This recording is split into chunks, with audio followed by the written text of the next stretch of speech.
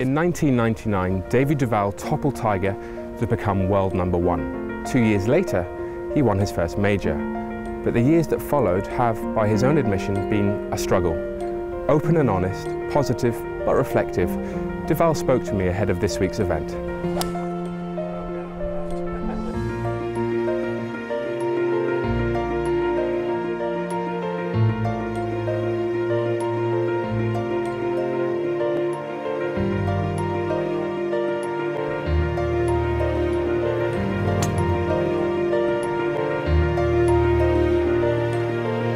So first of all, tell us about the story of getting here, because it's been an adventurous trip, hasn't it? It's been a very adventurous trip to, to get here to Scotland. Um, I have actually flown from the Italian Open, from Turin through Frankfurt to Denver, Denver to Newark, Newark to Edinburgh, and then drove for an hour. So uh, it's been chaos, but I am very keen to just play some. I've been working hard for seven months trying to put my golf swing kind of back to what it was late 90s early 2000s it's been very hard to put it back together but the best part about it is i've learned exactly why and how i swing a golf club. Because in the past i just teed it up and i knew i was good. I knew i swung it well. I knew i hit it the golf ball as good as as good as anybody but i didn't necessarily know why. And now i know why and, and, and the motion i do and the the method I use, I know why it produces the consistent golf shots and how to do that.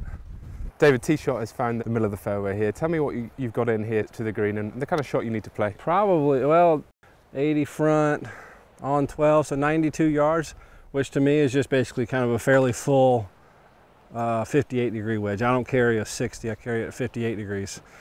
And with this downhill lie, if anything, that should strengthen the shot, the, the club head a little bit. So I figure from here, you know,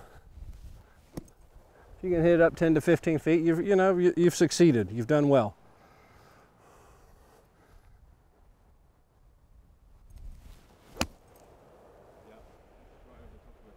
Yeah, it's just front of the green. A little bit short, but yeah, you know, pretty good. But just I just tried to, you know, try to remember how to hit this, off this turf. I know it sounds silly, but you actually have to hit the golf ball a little differently than you would in America. David, tell me about the challenges you've you've faced since 2001, 2, I suppose, because 99 was a fantastic year. Took Ryder Cups, you shot a 59. Right. You, you reached the top of the world, world number one. Just tell me about the years that followed. Well, you know, I got to, I got real injured in 2000 with my back. Was out for a lot of weeks. Uh, came back and won a golf tournament my first week back. And then just really started fighting my back ever since then. And managed to feel okay at the Open in, in 01 where I won at Lytham, but um, that's kind of when my body started to deteriorate and my golf swing started to, I started to compensate and it started to de deteriorate. Just a lot of injury problems, little things like that that, that add up. And, you know, through that, you start playing not as well. There you are, you're, you've, you've kind of really fallen away. And you know, beginning of this year, I, I had that goal of uh, being healthy at the end of the year for a change and getting my status back. But after I started playing, I played a couple events early in the season. I was like, you know what? I'm not happy with this kind of golf. I, I, I, could I could play good rounds and I could play good tournaments, but I expect to play consistently well week in week out. And so I decided early March, I'm going to fix this. I'm going to use this year to fix it. I don't know how you'd put a percentage on it, but if I was, I'd say I'm somewhere from, you know, 85 to 90 something percent there. I feel great about what I'm doing, and you know, probably even more than that. In uh, in the Italian Open, I hit, I believe it was 28 greens uh, and a fringe. So I basically hit 29 greens, but I had 64 putts. I didn't make a putt, you know. And instead of being in, running 12th place, I, I miss a cut.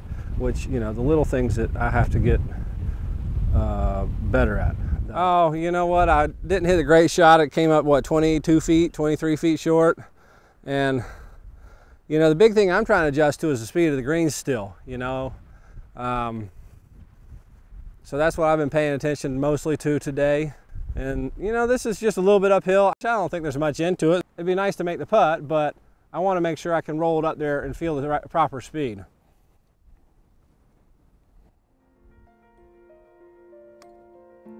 Yeah, it's a good roll, just, just coming up short. See, a little short. Yeah, I'm still, you know, it's going to take me, I'm hoping I can get adjusted by tomorrow to the speed. Um, and these greens here have been a little fast, a little slow. They've been, there's actually been a little, little bit of variation in them uh, today, it seems like. But, you know, it's a par. Solid par there, team. David, Yeah, it's been an absolute pleasure to, Absolutely. to see you here in the European Tour. Fantastic to talk to you. We wish you all the best with this week and wherever we see you next time. I appreciate that. Thank you.